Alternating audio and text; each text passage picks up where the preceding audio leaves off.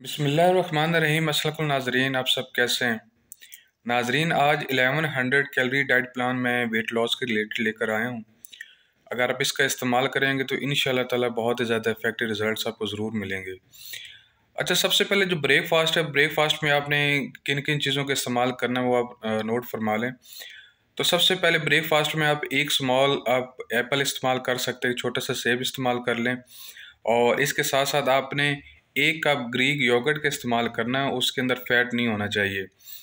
अच्छा इस Greek yogurt के अंदर आपने two tablespoon of chia seeds यानी आपने चिया सीड्स के टू टेबल स्पून उसके अंदर ऐड करना है, फिर आपने उसका इस्तेमाल करना है।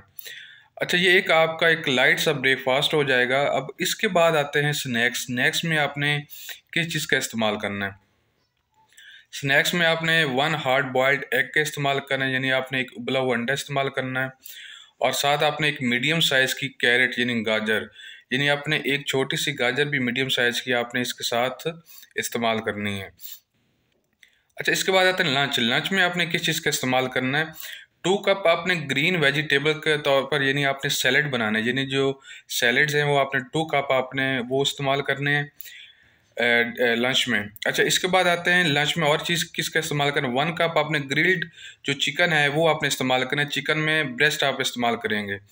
और साथ आपने हाफ़ कप स्टीम्ड ब्रोकली यानी आपने हाफ़ कप स्टीम ब्रोकली का इस्तेमाल करना है। और इसके अंदर अगर आप ऑयल की बात करते हैं तो ऑलिव ऑयल का आप इसके अंदर वन टेबल स्पून आप वो ऐड कर सकते हैं। अच्छा ये आपका हो जाएगा लंच और इसके बाद लंच के बाद आते हैं स्नैक्स स्नैक्स में आपने किस चीज़ का इस्तेमाल करना है? वन स्मॉल बनाना यानी आप एक छोटा सा मीडियम साइज़ का केला आपने वो इस्तेमाल करना है और साथ आपने थोड़ी से आपने बादाम इस्तेमाल कर लें, यानी जो बादाम है, थोड़े से वो आप इस्तेमाल कर लें। अच्छा इसके बाद आते हैं डिनर डिनर में आपने किस चीज़ का इस्तेमाल करना है? अच्छा मैं पहले आपको बताता हूँ स्नैक्स में जो बादाम मैंने आपको बताए वो आप एक कप का चौथा हिस्सा इस्तेमाल करें, यानी एक कप कोई भी है, उसका चौथा हिस्सा आप बादाम का इस्तेमाल कर सकते हैं।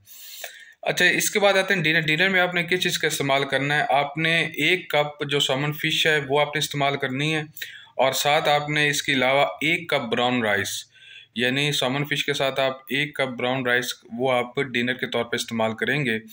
अच्छा इसके बाद आते हैं स्नैक्स यानी आप रात को स्नैक्स के तौर पर क्या चीज़ इस्तेमाल कर सकते हैं? आप कोई भी एक कप, आप मिक्स जो फ्रूट्स हैं, वो आप उसका इस्तेमाल कर लें। एक कप और साथ आप हाफ़ कप जो है ग्रीक योगर्ट का दोबारा आप विदाउट फैट यानी उसके अंदर फैट ना हो, वो आप इस्तेमाल करेंगे। तो नाजरीन, ये एक 1100 कैलरीज डाइट प्लान था वेट लॉस के रिलेटेड आई होप कि आपको पसंद आया होगा। नाजरीन काइंडली मेरे चैनल को लाइक शेयर और सब्सक्राइब करें। Thank you so much take care अल्लाह हाफिज़।